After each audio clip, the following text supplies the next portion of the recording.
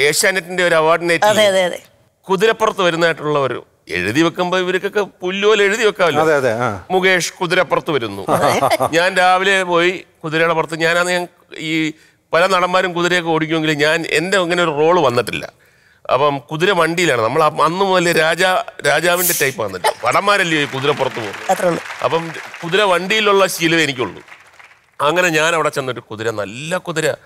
പേരൊക്കെ ഉണ്ട് കുതിരയ്ക്ക് കുതിരയുടെ ആളുമായിട്ടൊക്കെ ഭയങ്കര നമ്മൾ പേര് വിളിക്കുമ്പോൾ എന്നെ നോക്കും. അങ്ങനെ ഇതിന്റെ പുറത്ത് കയറി അവിടെ മുഴുക്ക നടന്ന് എല്ലാം റെഡിയായി.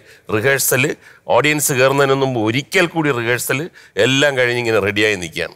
ഫ്രണ്ടിൽ നടീനടന്മാരെല്ലാവരും ഇരിപ്പുണ്ട്. അപ്പോൾ അതുവഴിയാണ് ഞാൻ വരേണ്ടത്. ഒരു കാര്യം നമുക്ക് ആർക്കും അറിഞ്ഞൂടായിരുന്നു. കുതിര വന്ന് സ്പീക്കറിന്റെ മുമ്പിൽ ആ കുതിര നിൽക്കുന്നത്. അപ്പോൾ എനിക്കൊരു എൻട്രി മ്യൂസിക് ഉണ്ടല്ലോ. എൻട്രി മ്യൂസിക് വന്നതും കുതിരക്കാരനും കുതിരയെല്ലാം എല്ലാം ചെതറിപ്പോയി പറ പറന്നു. യാ ബാ!